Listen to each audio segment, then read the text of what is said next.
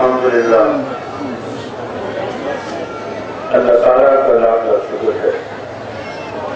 मालिकुल मुल्क ने अपनी याद की तोफीक और मौका अता फरमाया। लाखों और करोड़ों ज़रूर हज़रत मोहम्मद मुस्तफ़ा सल्लल्लाहु अलैहि जिनके तो मालिकुल मुल्क ने ये मेहरबानी करना सामान्य कराम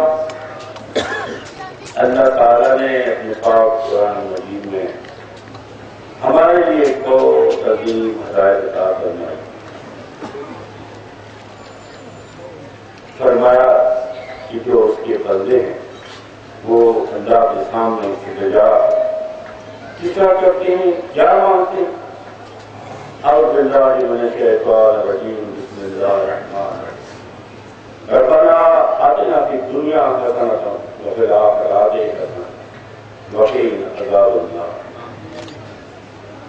इस शान पाक का तर्जमा और उलमाए कराम और जितने पढ़े लिखे लोग हैं, वो ये करते हैं कि जो अल्लाह के बंदे हैं, वो अल्लाह से इस तरह इंतज़ार करते हैं कि हमारे इलाक हमें दुनिया में भी अच्छाई अता फरमा और आखिरत में भी अच्छाई अता फरमा।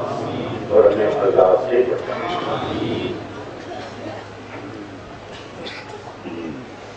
अब बात कि दुनिया में अच्छाई क्या है और अदालत आखिरत में अच्छाई क्या है जिसके मामले का होगा?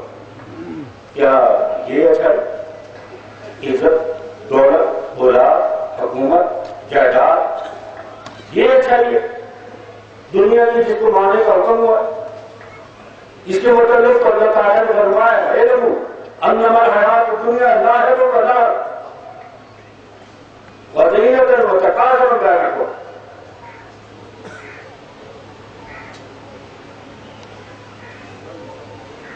वतकार तो फिर हमारी औलाद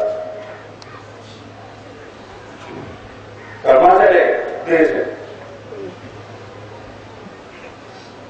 आज बल को पार नबात सुमा यही खतरा नसर सुमा यकूल खतमा वफिल आखरात अजाब शदीद वमाफरतम मिन अल्लाह व रिजवान इन्नमल हयात दुनिया दायरों व ज़हब अल्लाह ताला ने कुछ कदर को और तर्जमा कर दिया है, और जो हुक्म दिया है कि दुनिया क्या की है। फरमाता है याद लो समझ लो, अच्छे तरीके कि दुनिया धोखा है, खेल खेल तमाशा है। ये इसे एक दूसरे से सबक लेने के लिए मशहूर रहने के लिए एक धोखा बना हुआ है। और शैतान उसमें मशहूर रखता है। कोई माल की जाति चाहता है दो लाख की जाति चाहता है हुकूमत की ताकत ज़्यादा चाहता है। कोई ज़मीन चाहता है, कोई दौलत चाहता है तो क्या चाहता है? लेकिन ये सब ये सब धोखा है, और ये सब फजूल चीज़ है। अल्लाह तो ये बनवाता है। ये तो इस तरह है कि जब बारिश बरसे, और उससे खेत का सब ज़्यादा हो जाए। किसान बड़ा खुश हो। कि मैं बड़ा बहार हो जाऊँगा मुझे बहुत कुछ मिलेगा। लेकिन थोड़ी देर बाद वही खेत जो है वो दर्द होना शुरू हो जाए। फिर रेगा रेगा हो जाए और वो किसान सही दर्द हो जाए। और उसके बाद कुछ न। ये अगर दुनिया जिताने वाले का ये हाल है। और वो जब आफत में जाएगा तो उसके लिए क्योंकि कुछ नहीं है तो वो फिर अजाब शरीर में गिरता है।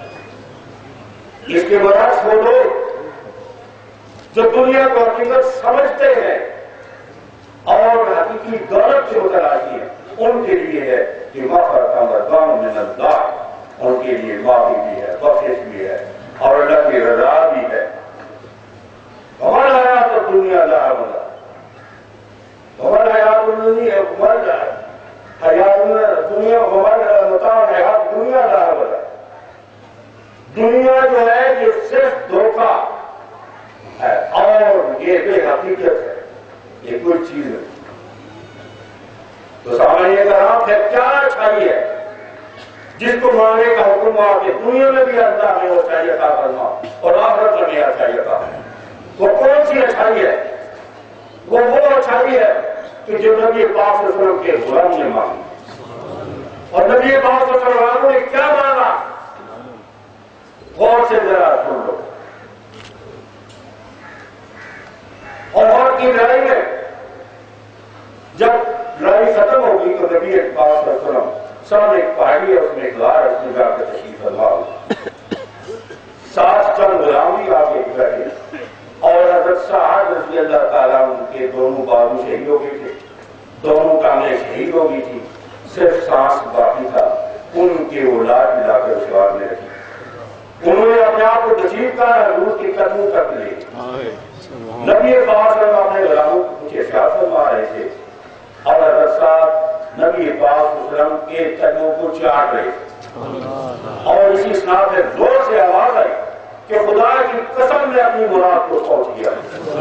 ये साठ करोड़ की ऊपर बात करी कौन सी मुराद थी?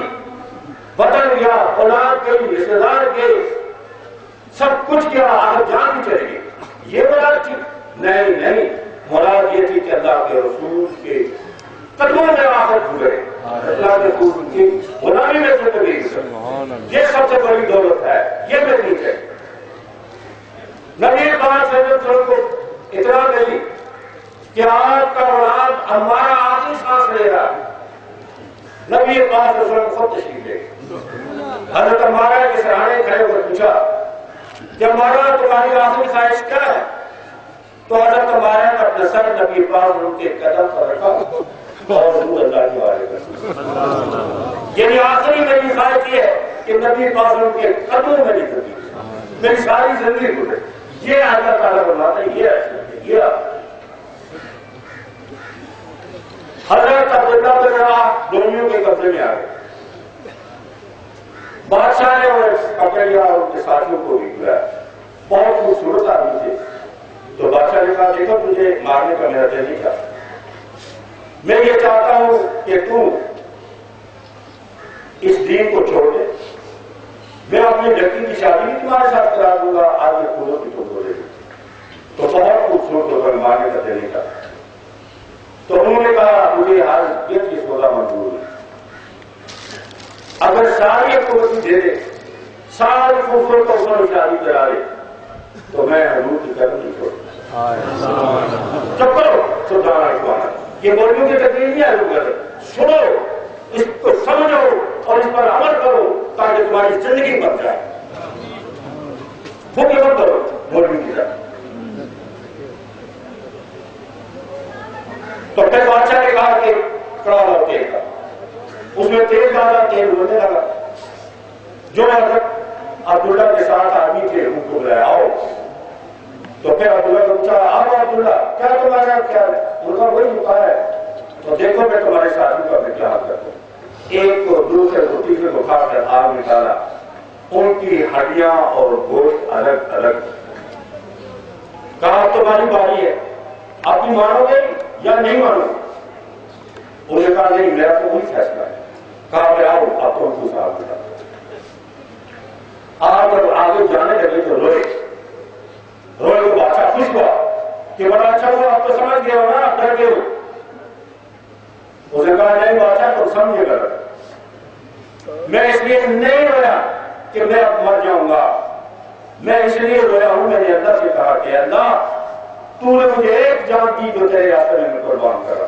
काश मेरी इतनी जाने होती, जितने मेरे जन्म में बाल है, इतनी बार मैं तेरे रास्ते में कुर्बान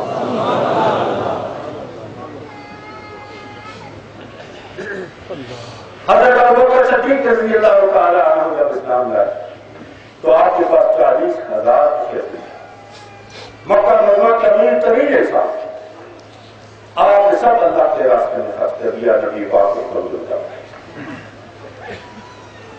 जब मदीना में जंग तबू का वक्त आया तो नबी पाक सल्लल्लाहु अलैहि वसल्लम ने फरमाया कि जिसके पास जो कुछ है, लाओ माल में, रोमियो से मुकाबले।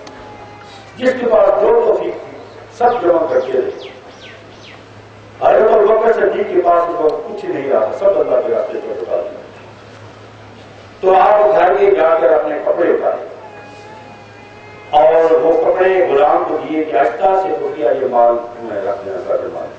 और फिर बोरी लपेटी ऊपर भी और नीचे भी और गहरी की कांटों से सी चुप करके बैठ गए उधर गई आदत नबी पास ने देखा कि हज़रत जबरील अलैहिस्सलाम ने बोरी पहनी हुई है, ऊपर भी, नीचे भी, वो गहरी है कांटों से नबी पास ने पूछा जबरील आज क्या जवाब लगा कर आए तो आज की या रसूल अल्लाह आज तो सातवीं या जितने सबने यही लिबास पहना हुआ है।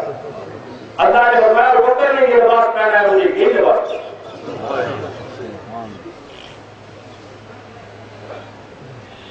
ये अल्लाह के रास्ते में सब कुछ कुर्बान कर देना और हजूर का सच्चा गुलाम बन जाना जो है, ये अच्छाई है दुनिया की और आखिरत की भी। वो अच्छाई नहीं है। जिसको लोग समझते हैं, वो भी समझते हैं तो सारे समझते हैं दौलत इज़्ज़त औलाद जान माल ये तो सब अल्लाह से दूर करने वाली चीज़ें ये तो सब धोखा है। इस धोखे में रंग इंसान अपने आप को खराब करके, अपनी आदत खराब करके चला जाए ये वकूफी की बात है। नबी पाक सल्लल्लाहु अलैहि वसल्लम, एक बार बार तशरीफ़ दे गए मदीने शरीफ एक बदू मिला उसे आपकी बहुत खिदमत जब वापस तशरीफ़ लाने लगे तो बदू को कहा, कभी मदीने शरीफ आना हो तो हमें भी खिदमत का मौका दे।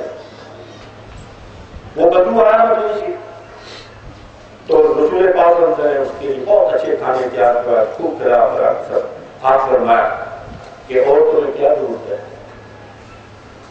तो उसने कहा कि मुझे एक सौ ऊँट है सोलह ऊँट को कीमती समझा जाता तो नबी पास समझ सोलह उसको सोलह।